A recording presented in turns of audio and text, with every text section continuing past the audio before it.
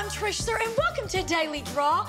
I'm happy to help y'all start your weekend out right. Now remember, this weekend is daylight savings time, so make sure to spring ahead. You know what else is springing forward? I'll tell you what, in two weeks, Friday, March 22nd, it's our big money night, honey. I'll be announcing our $5,000 grand prize winner. That should put a little spring in your step for sure, huh? So keep sending me those code words. You can text them, you can send them by carrier pigeon. I'm kidding.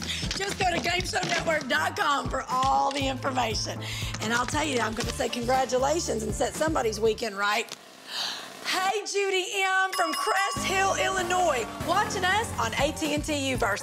Honey, you just won $500. Congratulations. Now, y'all have a great weekend, and I'll see you Monday for more what? Daily Draw. Bye, y'all.